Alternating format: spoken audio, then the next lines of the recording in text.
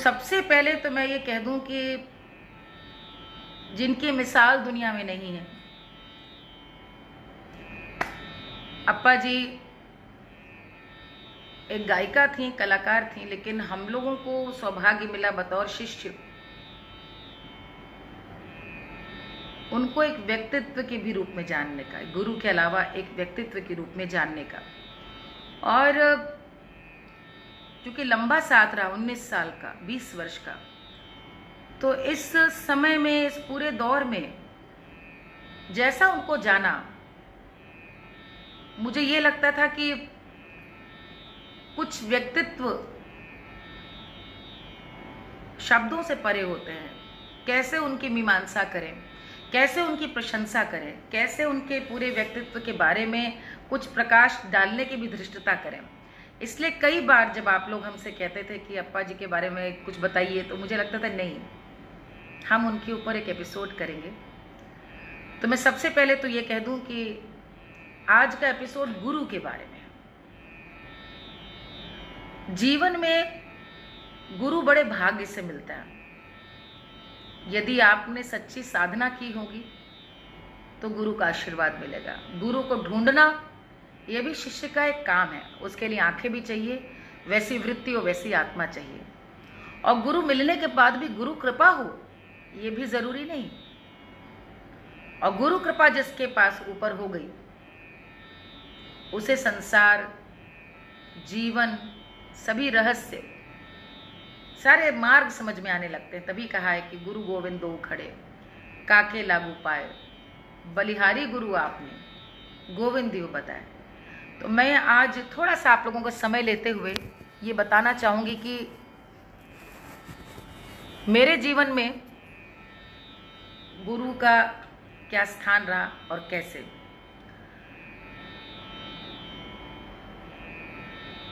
मैं बहुत छोटी थी जब मिर्ज़ापुर में पिताजी पोस्टेड थे। और मिर्ज़ापुर की एक सबसे अच्छी खासियत थी कि वहाँ पर पूरे बंग के जितने भी हमारे कलाकार थे, बनारस के कलाकारों का मिर्ज़ापुर लगातार आना होता था।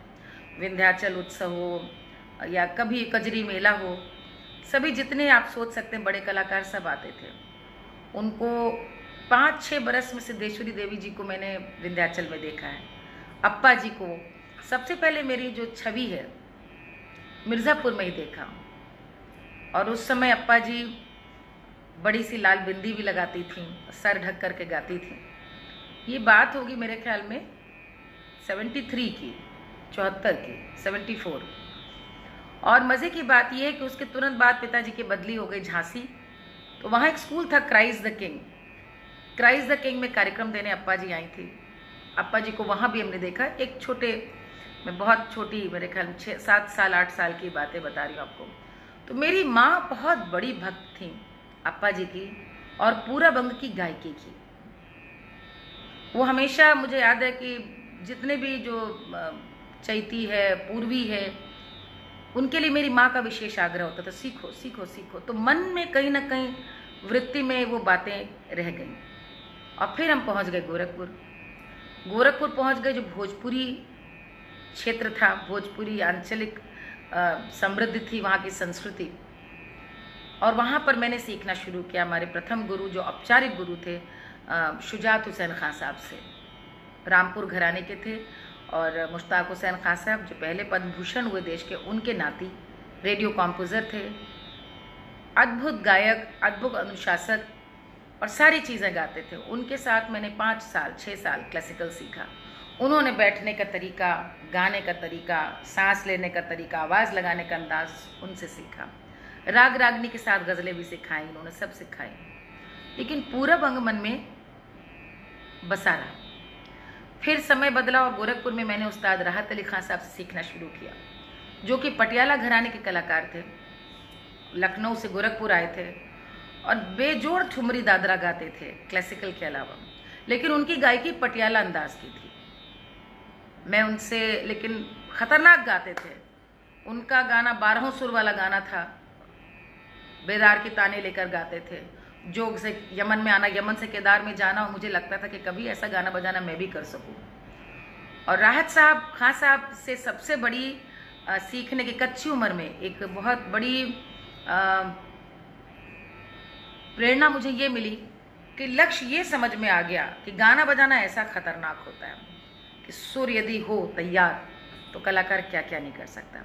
राहत साहब पे अलग से एक एपिसोड करूँगी क्योंकि वो डिज़र्व करते हैं। कि उनके बारे में इतनी सारी बातें बताई जाए, क्योंकि बहुत सारे लोग उनके बारे में नहीं जानते हैं। उनसे मैंने ये भी सीखा, राहत साहब से, कि किस तरह से सच्चे कलाकार को किसी की मोहताजी नहीं होनी चाहिए। बाजा है, नहीं है, तबला है, नहीं है, बिजली चली जाए बीच में, सच्चा कलाकार तब भी बाँध लेगा श्रोताओं को। शो मस्ट गो ऑन ये मैंने उनसे सीखा। मैंने उनसे सीखा कि कैसे एक कलाकार जितनी श्रद्धा से गज़ल गा सकता है निर्गुण गा सकता है। उतनी ही तैयारी के साथ एक ठुमरी को भी निभा सकता है। एक भोजपुरी लोकगीत को निभा सकता है। वो चौमुखी थे। और मुझे इसीलिए जो बहुत सारा वैविध्य आपको मेरी गायकी में दिखता है, लोकगीतों के अलावा, वो राहत साहब की देन थी। वहाँ से मैं लखनऊ आई और लखनऊ आने के बाद भी हर हफ़्ते गोरखपुर जाती रही, राहत साहब से, खास साहब से सीखने। लखनऊ आने के बाद जो भोजपुरी, जो पूरब की संस्कृति मेरे भीतर बसी थी, लखनऊ बिल्कुल सोफियाना शहर, बोली अलग, बड़ी ठहरी हुई भाषा। लेकिन भातखंडे में अच्छा लगा कि वहाँ भी पंडित गणेश प्रसाद मिश्र जी थे जिनसे मैं सीख रही थी। और पंडित गणेश प्रसाद जी असाधारण गुरु काशी के, बनारस के, पंडित धर्मनाथ मिश्र जी भी वहीं पर थे उस समय। उस समय इस वर्ष जिनको पद्मश्री मिला है, डॉक्टर पुरुदधीच जी उस समय थे। और मुझे बहुत उत्साहवर्धन करने में सबसे बड़ा सहयोग था पंडित डॉक्टर सुरेंद्र शंकर अवस्थी जी, जो उस समय प्रिंसिपल थे भातखंडे के। और डॉक्टर प्रोफेसर कमला श्रीवास्तव जी, जो उस समय हम लोगों को थ्योरी पढ़ाती थी और जितने भी लोग गीत या एक्स्ट्रा एक्टिविटीज़ होती थी तो कमला दीदी हम लोगों को सबको साथ लेके जाती थी। प्रोफेसर किनोद थे कृष्ण कुमार कपूर सर थे हम लोगों के साथ। तो बहुत एक अच्छा चार पाँच वर्ष सीखते हुए बीता। सीखते हुए ये बीता कि हम भातखंडे की ओर से बतौर गायक हम लोग कार्यक्रम देने लगे। मैं इंडिविजुअली प्रोग्राम देने लगी। मैंने बहुत कुछ सीखा। और लखनऊ में भी आकर के थोड़ी बहुत बहुत छोटी उम्र में जान पहचान हो गई। मेरे ना, मेरा नाम होने लगा। और मुझको ये समझ में आने लगा कि अब लखनऊ से गोरखपुर जाकर सीखना मुश्किल है। लेकिन खान साहब ने इतना सिखा दिया था कि पूरी ज़िंदगी मैं उस पर बिता सकती थी गाते हुए। तो भातखंडे में क्लासिकल का रियाज हमारा चल रहा था और ये अट्ठासी का किस्सा है कि एटी एट में प्रिंसिपल भातखंडे सुनील शंकर अवस्थी जी ने मुझसे कहा कि मैं उसमें एक नियम था कि हम लोग जो कंपटीशन में जीतते थे उनको अपनी प्रतियोगिता में हिस्सा लेकर के अपना प्रस्तुति देनी होती थी। तो मैंने भी मुझे याद है आ, आ, बिहागड़ा मैंने सुनाया था मैंने बिहागड़ा मेरा चॉइस था और बिहागड़ा मैंने 25 मिनट का सुनाना था। तो पता चला कि रोज़ उस विधा की कोई गायिका भी उस दिन प्रस्तुत या कलाकार प्रस्तुत देगा राष्ट्रीय ख्याति का। तो अट्ठासी में हमारी प्रस्तुति के दिन हमको पता चला कि अप्पा जी यानी कि गिरजा देवी जी आ, उनकी प्रस्तुति है। तो मैं तो बिल्कुल लालायित हो गई एक्साइटेड हो गई और ये सोच करके कि उनको सुनने का भी मौका मिलेगा और सुनाने का अवसर मिलेगा। जैसा होता है कि उस समय से पहले आ गई थी। और बैठी थी। तो हम, प्रिंसिपल जो अवस्थी जी थे। देखिए, कब की बात सरस्वती माँ सुनती हैं, कैसे विधाता तय करता है। अवस्थी जी ने कहा, अप्पा जी का नाम लेके, गिरिजा ये हमार नतनी है, मालिनी। इनकरा के ले चलो तुम। तो अप्पा जी ने कहा, आहा रे, बहुत बढ़िया जवारीदार आवाज़ हो तुहार। तो चलबू हमरे संगे कलकत्ता। मैंने ऐसे करके उनको जहाँ पहले तो मैं पाँव छूने के लिए मेरे हाथ नीचे थे उनकी सिर्फ़ आवाज़ सुन रही थी क्योंकि आजकल के शिष्यों का नहीं जानती हम लोग जिस तरह से सीखे हम लोग को गुरु के आँखों में आँखें मिलाने की भी आ, संस्कार नहीं थे। मैंने उनकी बातें सुनी और उनके पाँव में छू रही थी नीचे झुकी थी। जब उन्होंने कहा चलबू सवाल जब उनका आया तो मैंने ऐसे करके देखा उनको। और ये कहते हुए उनका चेहरा बिल्कुल मेरे सामने, कितना प्यार उनके भीतर। चलबू तो मैंने ऐसे करके उनको देखा और हाथ बस ऐसे जोड़ लिए। और मुझे लगा कि कुछ ठीक ठाक गाए होंगे जो आज गुरुजी अप्पा जी कह रही हैं चलने को साथ में सिखाने के लिए। तुरंत माँ ने कहा कि, अरे बेटी की तो शादी तय हो गई है। इसकी शादी है अगले महीने। तो ये जा नहीं पाएगी। लेकिन मैं इसको हमेशा आपकी चीज़ें सुनाती हूँ, मैं इसको कहती हूँ कि आपके जैसा बनना है, आपके जैसा गाना है।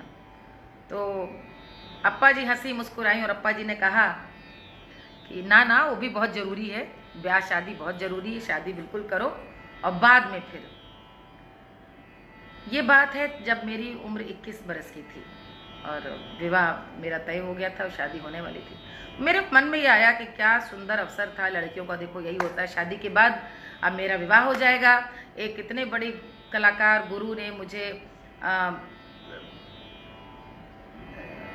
खुद ही आगे से कहा कि तुम में संभावना है मैं तुम्हें सिखाऊँगी और आईटीसी कलकत्ता ले चलने को कह रही हूँ। और मैं फिर बंधनों में हूँ। ब्याह हो रहा है। मैं कहाँ से जाऊँ? बात समाप्त हो गई। और मेरा ब्याह हो गया। ब्याह के बाद जैसे हर लड़की अपने संसार में बहुत सुखी होती है, दिन बीतने लगे। इस बीच में आकाशवाणी की मैं ग्रेडेड आर्टिस्ट हो गई तो कॉन्सर्ट्स में जाती थी। ऐसी बनारस में एक कॉन्सर्ट हुई, जिसमें कि शायद रेलवे में थी वो कॉन्सर्ट सुनने के लिए अप्पा जी आई थी। तो लोगों ने मुझसे कहा, देखो देखो देखो, गिरजा देवी जी मेरा ब्याह हो गए थे, बच्चे हो गए थे। ये बात है शायद पचानवे की। छियानवे की तो मैं गई उनको देखा, मैंने उनको प्रणाम किया तो अप्पा जी ने ऐसे आँख देखकर मुझे किया। मैं सारी बातें आपको बता रही हूँ, कैसे भेंट हुई। और उसके बाद आशीर्वाद दिया बात ख़त्म हो गई। फिर एक बार अयोध्या पतिदेव थे तो मैंने कहा, कार्यक्रम कराना है, अप्पा जी को बुलाते हैं। मुझे याद है कि उस बार मैंने फ़ोन मिलाया तो ये सुनंदा, जो मेरी गुरु बहन है, सुनंदा शर्मा, उसने फ़ोन उठाया, शायद 97 की बात है। और फिर कुछ कुछ हो गया, कार्यक्रम नहीं हो पाया। और नवरात्र में एक दिन मुख्यमंत्री जी ने फ़ोन करके मेरे पतिदेव से कहा कि अवस्थी जी, अब अयोध्या के बाद जाइए, काशी का कार्यभार संभालिए। इन्होंने अंदर आकर के कहा मुझसे कि ट्रांसफ़र हो गया है हमारा बनारस डीएम, अयोध्या से डीएम बनारस। और मैंने ऐसे किया कि ये माँ ने मेरे लिए तुमको भेजा है बनारस। मैंने मांगा मुझे लगता था कि मैं किसके चरणों में गिरूं? मैं कहाँ से सीखूं? विद्या मैं ये बताना बीच में भूल गई कि 93 में हमारे उस्ताद जो राहत साहब थे उनका इंतकाल हो गया था। शुजात साहब का और पहले ही हो चुका था। और मैंने ये प्रण कर लिया था कि मैं जल्द मैं किसी से सीखूँगी नहीं। मैं उसी से सीखूँगी जिनसे मेरा आ, मैं मन से जुड़ चुकी हूँ। और मैंने कहा मैं अप्पा जी से सीखना चाहती हूँ। बनारस पहुँचे नवरात्रि के दिन थे। इन्होंने चार्ट संभाला और मैं सीधे गई, नाटी इमली अप्पा जी के पास। हम दोनों साथ गए थे, हम और पतिदेव, बच्चे भी थे। और हम गए, हमने उनसे बताया, उनको भी लगा होगा कि भाई, मैंने सोचा, मुझे लगता था, उनको तो नहीं, कि भाई सारी अफसरों की भाई वाइफ्स को सीखने करने का बड़ा शौक होता है, कि भाई गाना है। तो मुझे इस बात का बड़ा वो रहता था कि कहीं ऐसा कोई तो नहीं सोच रहा रियल टैलेंट कई बार आपकी प्रतिभा के ऊपर आपका जो बाहरी आवरण है वो हावी हो जाता है। लोग आपको वैसे ही एसेस करते हैं, लोग आपको वैसे ही जज करते हैं। अफसर की बीवी हैं डीएम साहब की बीवी हैं। मैं क्या थी, मैं कौन थी? उसको लेकर मैं बहुत, मैंने एक बैक सीट ली हुई थी विवाह के बाद, एक मौन लिया था। कार्यक्रम करती थी। इनफैक्ट ये वो दौर था जब मैं अंताक्षरी में जीत चुकी थी। जिसका मैं कल किस्सा बता रही थी। और सारे गामा में भी मैं लंदन हो आई थी इंटरनेशनल सारे गामा में मैं रनर्स अप थी, जहाँ पर जगजीत सिंह जी और मेहदी हसन साहब जजेस थे। तो अप्पा जी ने कहा कि, ठीक है बेटा अच्छा दिन देख लेते हैं और तुम आओ, पूजा करके शुरू करेंगे। लेकिन हम चाहते हैं कि कुछ सुनाओ तुम आज। अब मैं तो संकोच में गड़ी जाऊँ। एक तो विवाह के बाद कार्यक्रम देना एक अलग बात है। इतनी जो साक्षात सरस्वती आपके सामने बैठी हूँ, और कहें कुछ सुनाओ। हमने कम कुछ नहीं सुनाएँगे, आप बस सिखाइए। और आप बस ये समझ लीजिए कि मुझे कुछ नहीं आता। तो मुस्कुराई बोली कि कैसे नहीं आता? ठुमरी सुनी हमने तुम्हारी। वो सुनुआ सुनुआ के तो सुनावत रहलू। हम सुन ली है। तो मैं समझ गई, वो सारे गमा की बात कर रही थी और मैं संकोच में गड़ गई कि हाय हाय, अप्पा जी ने वो सुना है, कितना ख़राब गाया था मैंने और मैं सोचने लगी बहुत सारी बातें। तो जितने सब लोग थे, वहाँ सुनंदा थी नागेंद्र दुबे थे मेरे ख्याल में और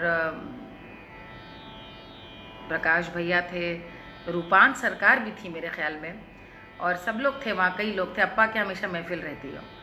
तो रहती थी। हमें अभी भी लगता है अप्पा यहीं पर है। और उनका नहीं नहीं, सुनाओ सुनाओ सुनाओ भाई। तो अप्पा जी पलट के बोली, ठुमरी सुनाई थी ना इसने पहाड़ी में? हाँ हाँ हाँ हाँ हाँ। तो हमने उनको एक हिमाकत करी, ठुमरी सुनाई। जैसी सुनी अप्पा जी बोली तो ठीक तो है, सुर में हो, सब कुछ ठीक है अच्छा है। हमने कहा, नहीं, आप मत बोलिए मुझे कुछ नहीं आता। अप्पा जी ने एक चीज़ कही उस दिन मुझसे, कि बेटा हम सिखाएँगे, क्योंकि लय में हो, सुर में हो, बहुत अच्छी आवाज़ है। लेकिन तुमने जो गुरुओं से सीखा है इतने बरसों से, वो तुम्हारे गले में बैठा है। और ये बनारस घराने की जो चीज़ है, इसमें बड़ा चैन, ठहराव, सुकून है। इसको सीखने के लिए पहला भी बहुत सब कुछ अच्छा है जो सीखा है। लेकिन ये नया सीखने के लिए मैं ये नहीं कह सकती कि पुराना भूलो, लेकिन नया सीखने के लिए अलग समर्पण चाहिए।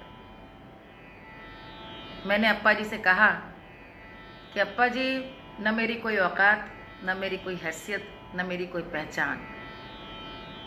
मैं पाँच की बरस की थी जब से सीख रही हूँ। मेरे विवाह को दस बरस हो गई, अट्ठानवे की नाइन्टी एट की बात है नाइन्टी नाइन। और अब गुरु कृपा से मैं आपके चरणों में आने का सौभाग्य मिला है। आगे भविष्य तो मैं जानती भी नहीं।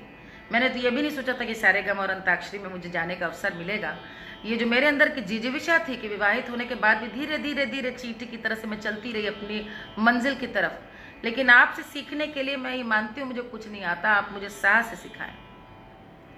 और मेरी पूजा हुई और सीखना शुरू हो गया उस दिन से। तो आज मैं आपको सुनाती हूँ जो पहली चीज़ उन्होंने मुझे सिखाई। भैरवी की बंदिश थी ठुमरी।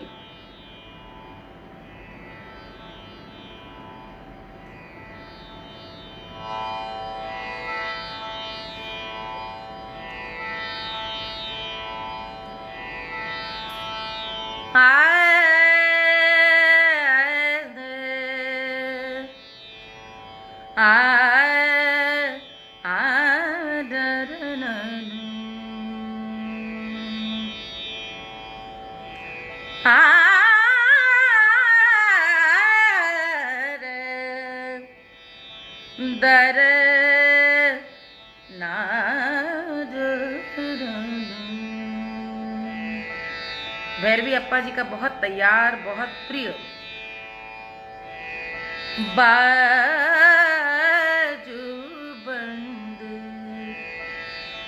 खोले खोले जा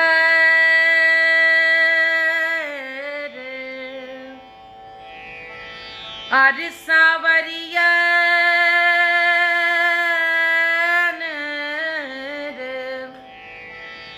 जादू डार हो बाजू बंद खोले खोले जा जादू की पुड़िया अर भर भर मारी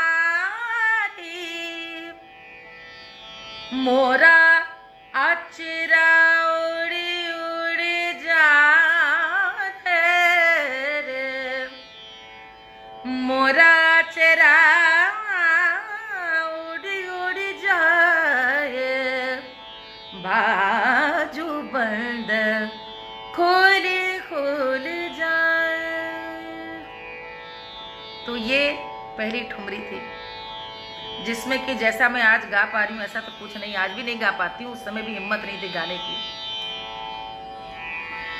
अप्पा जी को जानने के बाद सबसे बड़ी चीज़ मुझे लगता है कि, और ये आप भी इस मेरी अनुभव से एक बात को गांठ बाँध लें। गुरुओं का बहुत सम्मान किया करिए, और माता पिता का। क्योंकि इन तीनों में एक ऐसा गुण होता है जो आप में नहीं हो संसार में बिरले लोगों में। वो है धीरज। वो जानते हैं कि धीरे धीरे धीरे धीरे ही होगा जो होगा। लेकिन धीरज नहीं छोड़ते। और पूरे मनोयोग से लगे रहते हैं, लगे रहते हैं। और परिणाम कभी ना कभी तो आता ही है। अप्पा में इतना धीरज था, मुझे अभी भी लगता, मुझे लगता था कैसे गा लेती हैं, कैसे गा लेती हैं। अप्पा ने भी उम्मीद नहीं छोड़ी। और सबसे बड़ी बात, गुरु सिर्फ़ अनुशासन से नहीं बनता। गुरु बनता अपने बड़प्पन से, अपने स्नेह और लाड़ से। अप्पा जी से जुड़ना, अप्पा जी अपने आप में एक संस्था, अपने आप में एक परिवार थे। उनसे जुड़ने का मतलब ये था कि आप गाना तो सीखेंगे ही, आप घर गृहस्थी सीखेंगे, आप सद्गुण सीखेंगे, जीवन जीने की कला सीखेंगे। गुरु शिष्य परंपरा में सबको सिखाती थी। मेरा तो विवाह हो गया था, बच्चे हो गए थे, सुनंदा का ब्याह नहीं हुआ था, रूपान का ब्याह नहीं हुआ था।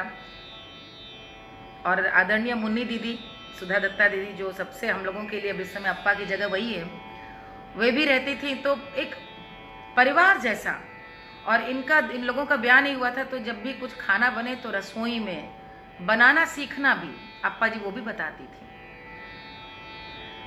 कोई आया है अतिथि? उससे कैसे पेश आना है? कितना बोलना है, कब नहीं बोलना है?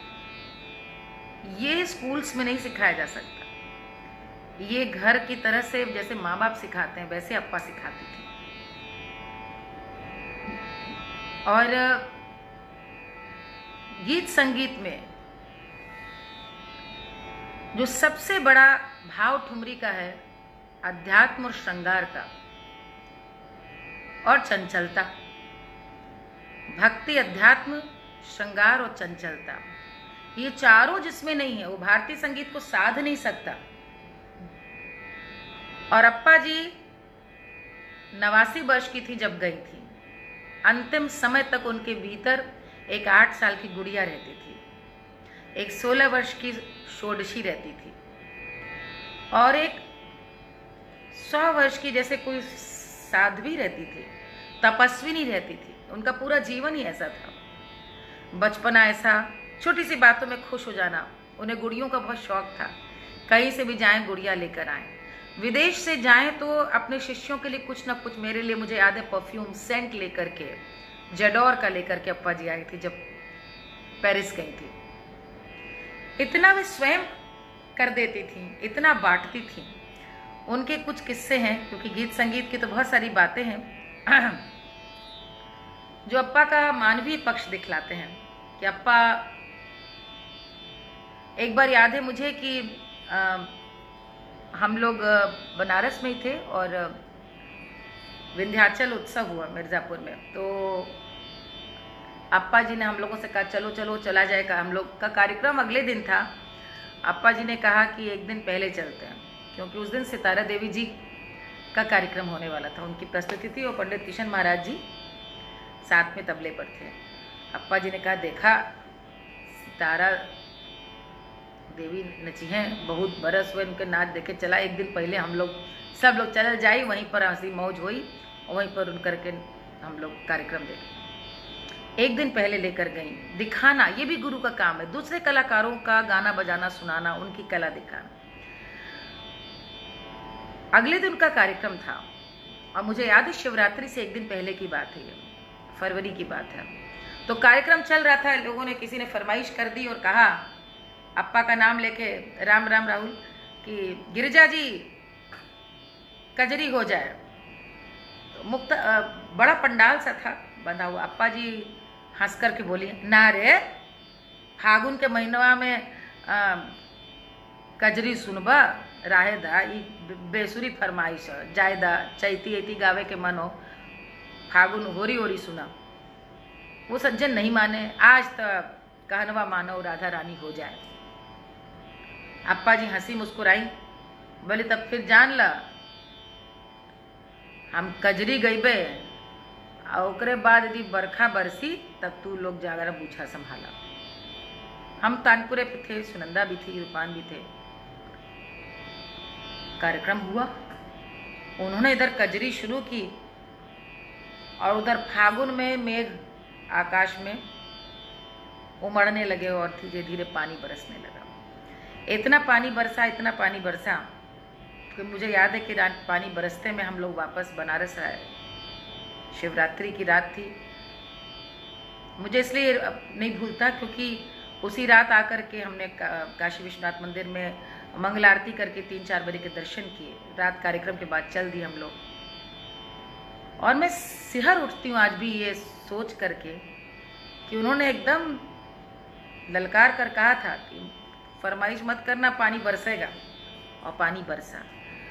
कुछ लोग कह सकते हैं संयोग है, लेकिन एक नहीं, कितनी बार मैं देख चुकी हूँ कि अप्पा जी के गाने से मेघ बरसे बेमौसम की बारिश मैंने देखी है। ये गाने का तप है।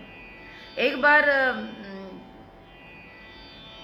अप्पा जी शौकीन बहुत थी कपड़ों की अच्छा खाने की, जेवर की। जब भी मुझे शौक था तो हमेशा हमारी साड़ियों को टोके, हमारी यदि हम नई अंगूठी पहनोगे तो का रे, नीलम पहनी, का रे?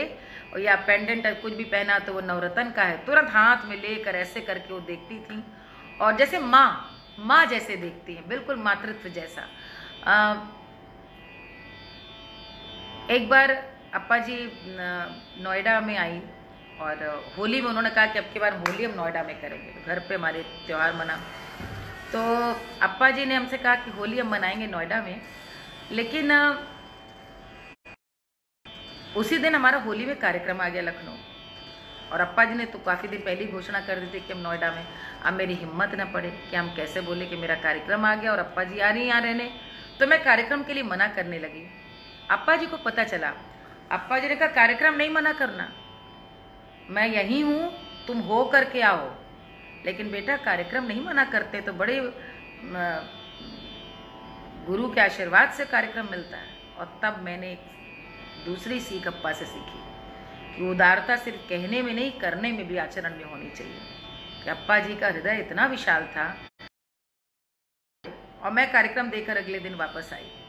तो मैं जब जाने लगी, मैंने कहा, अप्पा, मैं क्या लाऊं? तो मुझसे बोली एक काम करो। सबको ये अच्छा लगता है कि हम सफ़ेद रंग और सुनहरा रंग बहुत पहनते हैं। सफ़ेद रंग की साड़ी लाते हैं, लेकिन गर्मी आ रही है। बढ़िया हल्की गुलाबी साड़ी चिकन की ले आना। मुझे इतनी खुशी हुई कि अप्पा तो अब कभी कुछ कहती नहीं, कभी कुछ बोला नहीं उन्होंने। मैं एकदम बेस्ट जो चिकन की सूती साड़ी लेकर के आई और रंग देख वाह भाई, वाह वाह करके इतनी आनंदित और होली के दिन उन्होंने वही धोती पहनी। तो रंग जिस दिन खिलना था, उससे एक दिन पहले अप्पा जी ने कहा कि अवस्थी कब आएँगे? क्योंकि मैं नोएडा में रह रही थी, अवनीश उस समय लखनऊ में थे, बिजली विभाग देख रहे थे। तो हमने कहा साढ़े सात बजे की फ़्लाइट है, आते होंगे। तो अप्पा जी ने कहा कि, सुनंदा, रूपान, सब लोग आ जाओ। होली तो फागुन तो हँसी ठिठोली का मौसम है। और है कि इस समय आज अवस्थी को बनाया जाए। तो मैंने कहा, अवस्थी को बनाया जाए। अप्पा जी बोले कि, जाओ, साड़ी निकाल, निकालो अपनी। जितनी साड़ियाँ निकालो, वो वो निकालो जो तुम ज़्यादा पहनते हो। मैंने कहा, ठीक है, हम लेकर आए साड़ियाँ, धोतियाँ। और जब मैं लेकर के आई तो सुनंदा और रूपान को अप्पा जी ने कहा, सब लोग, तुम लोग सीधे पल्ले की साड़ी पहनो जैसी मालिनी पहनती है। सबने पहन ली, हम लोग अब गुरु का आदेश, कैसे मना करें? सबने साड़ियाँ पहन ली सीधे पल्ले हम तो खैर पहनी थी, इन लोगों ने भी पहन ली। और यदि सुनंदा, रूपान सुन रही होंगी इस किस्से को तो उन्हें पता होगा। और उसके बाद, इनसे फ़ोन पे बात हो रही थी अवनीश से तो ये बोले, बस हम पहुँचने वाले हैं, Noida D N D cross कर गए, नोएडा बस घर में पहुँचने वाले हैं। तो मैंने बताया अप्पा जी को कि अप्पा जी बस ये आने वाले हैं। अप्पा जी बोली, बस बस बस, तुम लोग सर ढक कर के बैठ जाओ ज़मीन पे। तो गेट खुला, हमें आवाज़ आ गई, अवनीश आ गए। जैसे ही अंदर एंटर किए तो अंदर क्या देख रहे हैं? तीन एक जैसी सेहत वाली, एक जैसी कदकाठी की स्त्रियाँ सीधे पल्ले की साड़ी पहने सर ढके ऐसे उपड़ू करके ऐसे करके बैठी। सर झुकाए हुए सर ढके हुए। अवनीश चकरा गई क्या हो रहा? अप्पा जी आई और अप्पा ने हंस के बोली कि बताओ दमाद जी इनमें से कौन है तुम्हारी वाली? मालिनी कौन सी है पहचानो? तो अवनीश तो बिल्कुल चकरा गए क्योंकि आ, इनकी तो कोई साली वाली भी नहीं और इनको बिल्कुल आदत ही नहीं इस तरह की। हंसने लगे। ये समझे कि अप्पा जी मज़ाक कर रही बोले, नहीं नहीं, बताओ। और अप्पा हंस के बोली, गलत हाथ यदि पकड़ लिया तो अब समझ लेना उसी का हाथ पकड़ना पड़ेगा। हमारी दोनों सखियों का ब्याह तब तक हुआ नहीं था। जैसा कि होता है, इन्होंने गलत ही हाथ पकड़ा।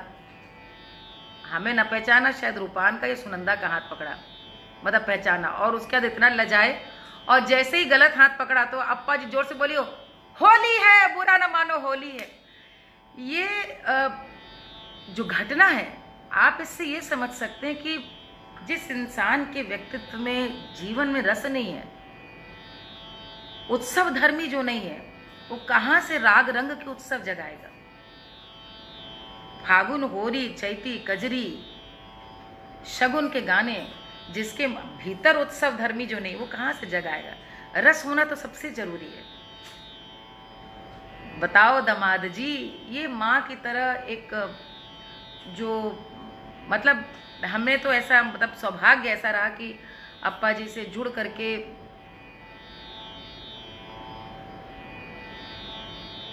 महाविभूतियाँ होती कैसी हैं, ये जीने का और देखने का बहुत निकट से अवसर मिला। आप में से कई लोगों ने पूछा है कि मैं देख रही हूँ सवाल, किसी ने पूछा है कि क्या वो बनारसी बोलती थी? जी हाँ वो सिर्फ़ बनारसी बोलती थी अधिकतर। और हमेशा जब हम लोग को जब बोले कि, ए सुना हो हरी मटर बाज़ार मिलत हो भैया, मंगावा, आज आलू के चॉप बनाएँगे, मटर भर के। तो अप्पा, खाने पीने से लेकर हर चीज़, पान लगाना, सारे सीरियल्स देखना सारे जितने भी आप समझ सकते हैं, जीवन के और हर व्यक्ति के जीवन में रस लेना। हर व्यक्ति का हाल चाल कुशल। अप्पा जी जिस दिन नहीं रही हैं, उससे एक सप्ताह पूर्व उनसे बात हुई छठ पे, दिवाली पे। और उसमें भी वो तुरंत बाबू कैसे हैं, बेटी कैसी है, कान्हा कैसा है, और कुहू कान्हा सबसे उनकी बात हुई, सबको उन्होंने आशीर्वाद दिया। इतना प्यार, इतना सबके लिए चिंता करना सबके लिए चिंतित रहना, उनके परिवार में, उनके रिश्तेदारों में, उनके शिष्यों में, किसके पास क्या कमी है? और गुरु, ऐसा मैं सबको देखती हूँ, कोई ट्यूशन लेकर के पढ़ाता है, कोई फ़ीस लेके पढ़ाता है, हमारी गुरु ने आज तक हमसे कभी कुछ नहीं मांगा। जो दिया शिष्यों ने अपने मन से दिया। इतनी पवित्रता के बाद ही गुरु का ज्ञान साधना लिए होता है, मुझे यही लगता है। ये ट्यूशन में ये विद्या कहाँ से आएगी? जो गुरु के ज्ञान में आएगी। अप्पा जी ने हमको 2006 में जब कहा कि हम तुम्हें अब गंडा बांधेंगे, तब तक सीखते हुए उनसे सात बरस हो गए थे। तो मैं बड़ी प्रसन्न और बड़ी आह्लादित कि अप्पा ने गंडा बांधना स्वीकार किया सीखने के सात बरस बाद। तैयारियाँ शुरू हुई, कैसे होगा, क्या होगा। तो मैंने अप्पा जी से पूछा कि क्या होता है, इसमें क्या करना अप्पा जी ने कहा, कुछ नहीं, जो तुम्हारी इच्छा हो। और जब गंडा बंधन का कार्यक्रम हुआ तो उस दिन पंडित छन्नूलाल जी भी थे, शायद साजन भैया जी हैं, वो थे उनकी भाभी थी किशन महाराज जी थे। और जो काशी की परंपरा है कि पहले मेरा गायन हुआ, अप्पा जी बगल में बैठी थी। और जब गायन हो गया तो फिर सबको देखकर बोली, क्यों भाई, काशी के विद्वत जनों आपका क्या कहना है? यदि आपकी सहमति हो तो गंडा बांधा जाए। और सबने हर हर महादेव कह दिया, यानी कि गंडा बांधा जाए। उस समय गुरु ज्ञान देता है शिष्य को, जो आज तक मेरे पास है और वो एक गोपनीय है, इसलिए वो हमारे साथ ही जाएगा। हम जिस शिष्य को गंडा बांधेंगे, हम उसको बताएँगे। लेकिन एक चीज़ जो सबसे बड़ी मैंने अप्पा जी के साथ सीखी, वो ये, शुद्ध व्यक्ति ही शुद्ध गाना बजाना कर सकता है। अच्छा गाना बजाना करने के लिए आपकी आत्मा भी पवित्र होनी चाहिए। ऐसे ही सब कुछ नहीं गा सकते। मैंने कितनी बार उनके साथ दैवी अनुभव जिए हैं और देखे हैं। कितनी ही बार। जी, आप में से कई सवाल मुझे, कोई कह रहा है, रस के भरे नयन। अब आप कुछ उनके बारे में और भी पूछना चाहें, क्योंकि उनकी बातों पे तो मैं किताब लिख सकती हूँ, इतनी बातें हैं। कुछ यदि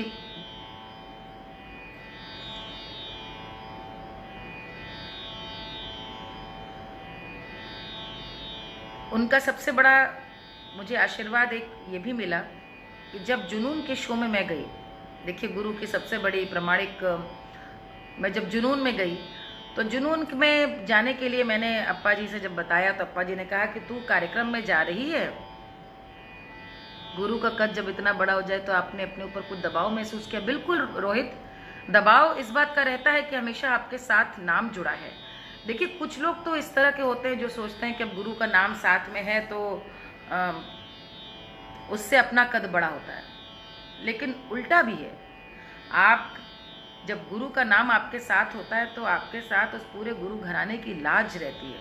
और अप्पा जब भी आशीर्वाद देती थी तो आशीर्वाद में कहती थी सौभाग्यवती रहो। गुरु घराने की लाज रहे। अप्पा जी ये आशीर्वाद देती थी।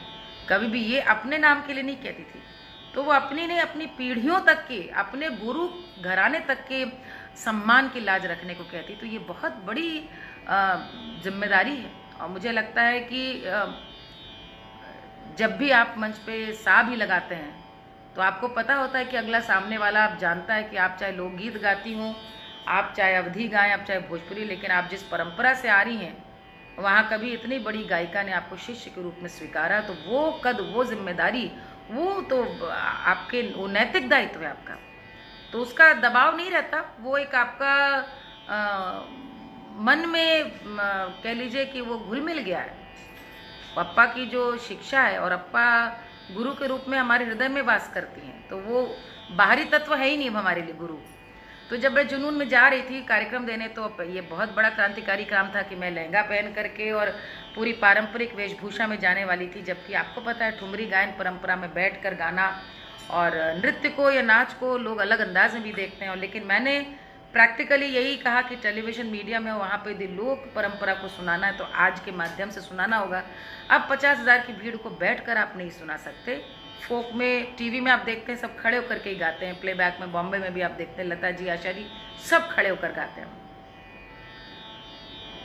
तो अप्पा जी से मेरी बात हुई तो अप्पा जी बोली कि कौन कर रहा है शो? गजेंद्र ना? हमने कहा, अप्पा जी गजेंद्र जी कर रहे हैं। तो तू बिंदिया नथ सब लगाई है? हमने कहा हाँ अप्पा जी सब लगाया हमने कहा, अप्पा जी, गाना जो करेगा, वही सब हमें करे अप्पा जी बोली, बिल्कुल ठीक है, आशीर्वाद है।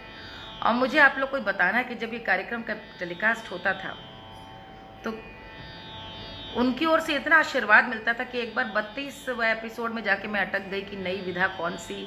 नई गायकी सिखाऊं और क्या सुनाऊं? तो अप्पा जी को मैंने एक बार फ़ोन किया। और अप्पा से मैंने कहा अप्पा जी कुछ नया कुछ बता दीजिए। सब चीज़ें तो मैंने लोग की गाई मैं चाहती हूँ कि आ, पुरानी पारंपरिक कोई चीज़ भी इस तरह की सुनाऊं। तो अप्पा जी ने कहा कि दादरा तुम ये जल्दी से सुन लो इसको टोना कह करके गाओ। और मैंने जुनून में गाया। पूरब देश से आई गोरिया।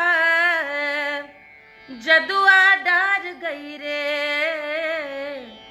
मोरे हरी पेना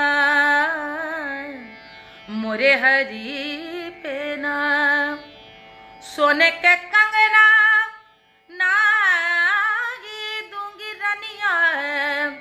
जदुआ मोरे हरी पेना मोरे हरी पेना आप लोग के मैसेजेस पढ़ती हूँ तो यहाँ गड़बड़ा जाती हूँ, क्योंकि एक से एक यहाँ पर किसी ने लिखा है कि वो किस्सा बताएँ कि जब उन्होंने अवनीश के लिए कहा था कि जाइए, उनको पानी पिलाए। ये माँ ही कर सकती है, मैंने एक इंटरव्यू में बताया है कि लखनऊ में मैं थी, अप्पा जी आई हूँ तो अप्पा जी के संग बातों की खूब बातें चल रही थी। और बातें चलते चलते अवनीश अचानक आए और अंदर कमरे में चले गए। तो अप्पा जी ने पान लगाते हमसे कहा, अंदर जाओ। तो हमने कहा, अरे अप्पा जी, चले जाएँगे, अभी आए हैं। बोली, नहीं, दिन भर का थका आ रहा आया मीठा कुछ खिलाओ, पानी पिलाओ, कुछ पूछो, दिन कैसा गुजरा? हमने कहा, अप्पा जी, आप बैठिए, कौन सी नई शादी है? ठीक है, देख लेंगे। अप्पा बोली, नहीं बेटा, जाओ। हम तो यहीं बैठे दिन भर यहीं कहाँ जाने वाले हम तुम्हारी माँ है ना? जाओ पहले दामाद को देखो। क्या कहूँ? मतलब शब्द नहीं है मेरे पास, इस बड़प्पन, इस, ये जो मानवीयता है, ये जो सीखे हैं जीवन में एक एक सबक बन करके उतर गए उनका प्यार, उनका शौक। किसने क्या पहना, क्या गाया? नाव में बैठकर वो बजड़े पे, गंगा के किनारे सैर करने के लिए, किसी का कुछ गाना बजाना, वो सुनवाने के लिए, किसी क्या मिलने जाना है सबको एक साथ लेकर के जाना, सब कुछ एक साथ करना। सामूहिकता में जीती थी। हर चीज़ का उनको इतना उत्साह, किसी की शादी सुन लें, कोई कभी भी उनके घर कभी भी आ सकता था। सबके लिए उनके दरवाजे खुले थे। भोजन अपने हाथों से बनाने की इतनी शौकीन थी। मुझे याद है कि उनकी बाईपास सर्जरी हुई और कोलकाता में उनको देखने गई सर्जरी के करीब दस दिन बाद। तो मैं थी और ये यतीन्द्र मिश्र जो है इनके पिताजी विमलेंद्र प्रताप मोहन मिश्र जी, पप्पू भैया। हम दोनों गए तो हम जब पहुँचे तो हमें लगा मप्पा जी बिल्कुल बिस्तर पे बाईपास सर्जरी हुई थी इस उम्र में। तो देख लिया, अप्पा जी लेटे रहे, फिर खाने के लिए जैसे हम लोग बोले, पहले खाना खाओ खाना खाओ। तो हमें लगा, अरे, अप्पा जी भोजन कर लेंगे। मुन्नी दीदी थी, हम लोग भोजन करने के लिए जैसे ही बैठे तब तक देखा जी चल कर आ गई, डाइनिंग टेबल तक। और बोली, वो हमने मालिनी के लिए जो लीची का संदेश बनाया फ्रिज में जम गया हो, जरा खिलाओ। मैंने मैंने कहा अप्पा आप लेटिए जा करके? हमने मुनिदी से पूछा अप्पा ने बनाया? उनकी बाईपास सर्जरी हुई है। बोली मारिनी बिल्कुल नहीं मान रही थी, तुम लोग आ रहे थे, इतनी उत्साहित थी। छेने को लीची की गुठली निकाल कर उसमें छेना भर करके फ्रिज में जमाया था कि क्या बोलूँ? ये गाने बजाने का तो अब दुनिया जानती है लेकिन मैं आज आपको वो पक्ष बता रही हूँ जो आ, उनका कद मेरे लिए सिर्फ़ संगीत के गुरु नहीं हो मेरे बिल्कुल आध्यात्मिक गुरु। आप में से बहुत आर्टिस्ट कार्यक्रम देख रहे होंगे। गुरु हमारी ऐसी थी। पाँच बजे का यदि कार्यक्रम है तो वो अपना डेढ़ बजे, दो बजे तक भोजन करके डेढ़ घंटा लेट लेंगी। और तैयार होकर के ठीक पौने चार चार बजे ड्राइंग रूम में आके बैठ जाएगी। एक घंटा पहले तैयार होना। हर कार्यक्रम में पहले ही पहुँचना। हर कार्यक्रम में यदि उनको बता दिया कि आपको डेढ़ घंटा गाना है तो एक घंटा पच्चीस मिनट में कार्यक्रम खत्म होगा। भोजन में एक रोटी लेंगी तो एक ही रोटी। दवाई, सोना, जगना, उठना, उनका अनुशासन। क्या कहूँ? और इसीलिए अप्पा का इतना बड़ा परिवार है। अप्पा से जिन्होंने सीखा, वो उनका परिवार, और अप्पा से जिन्होंने नहीं सीखा, जो उनको जानते थे, वो भी उनका परिवार है। क्योंकि वो इतनी स्नेहिल और इतनी आत्मीय थी कि सबको अपना बना लेती थी। दो चीज़ें उनकी सुना रही हूँ। जब मौसम जैसा आता था तो उनसे सीखी पहली कजरी और पहली होरी।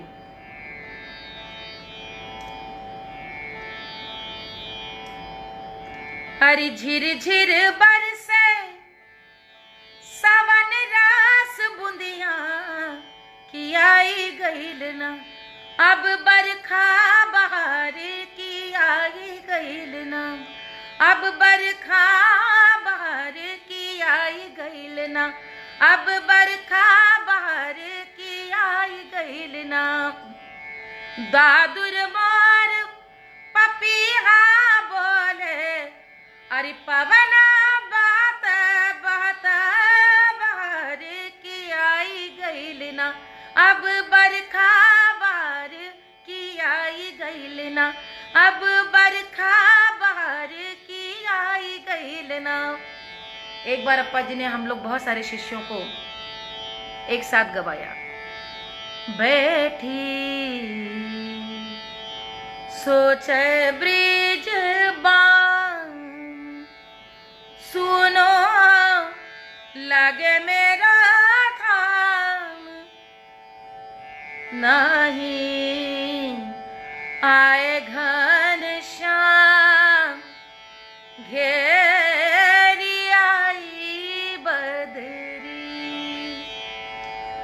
उनका गाया मेरा सबसे पसंदीदा कौन सा है? बहुत सारी चीज़ें पसंदीदा हैं उनकी। ठुमरी, उनकी गाई होली। रंग डारूँगी नंद के, लालन पे रंग डारूँगी हाँ रंग डारूँगी। नारी बनाई, नचाई छोड़ी नारी बनाई नचाई छोड़ी हो। अरे बेदी दई दई भालन पे रंग डारूँगी हाँ रंग डारूँगी रंग डारूँगी नंद के लालन पे रंग डारूँगी रंग डारूँगी हाँ रंग डारूँगी। अप्पा जी की गाई चीज़ें बहुत पसंद है। एक जो मुझे सबसे ज़्यादा पसंद है वो गाकर आप सबसे विदा ले लूँ। हाँ,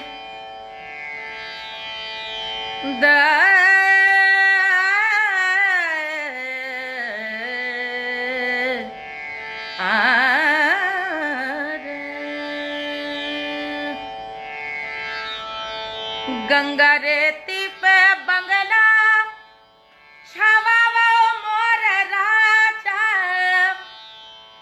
छवावा जमुने की।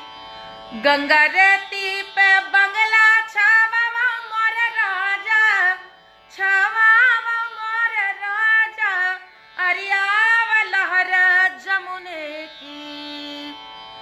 आवे लहर जमुने की आवे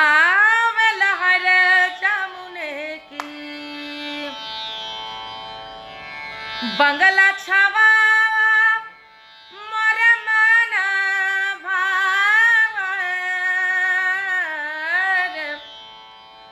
बंगला छवाया मोर मन बंगला छवाया भाया एक अच्छी सी खिड़की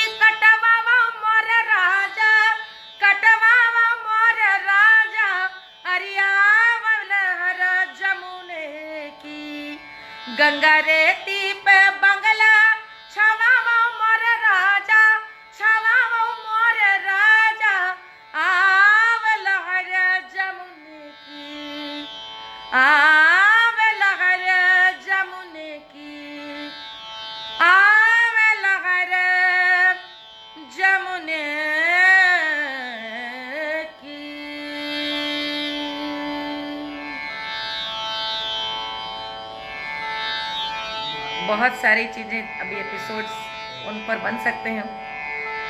क्योंकि अभी तो मैंने शतांश भी नहीं बताया, न उनके बारे में, न उनसे सीखी, अपनी स्मृतियों के बारे में, न उस विद्या के बारे में। लेकिन अप्पा जी या गुरु से सबसे बड़ी जो सीख मिली वो ये, कि हर पल सीखना चाहिए। आप मुझसे वो कजरी सुनते हैं ना कहवा से आवेला? किसन कन्हैया रे पड़ेला झीरे झीरे बूंदिया।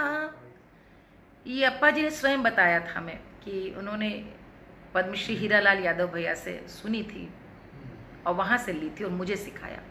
ऐसे जब मैं पाकिस्तान गाने जा रही थी तो अप्पा जी ने मुझे रामू जी की रचना सिखाई। तुमको आने में, तुमको बुलाने में कई सावन, बरस गए साजना। ये दिखाता है कि इस उम्र में जब वे किसी भी परिचय के मोहताज नहीं थी, उन्होंने सीखना नहीं समाप्त किया था। तो सच्चा शिष्य वही है, जो गुरु बनकर के भी आजीवन शिष्य रहे।